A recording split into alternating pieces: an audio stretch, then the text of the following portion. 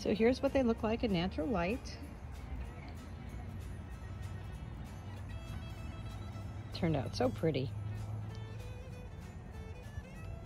I hope you liked this video. If you did, please like and subscribe. Give me a thumbs up. It helps my ranking on YouTube. I'd really appreciate it. And I'll see you on my next video.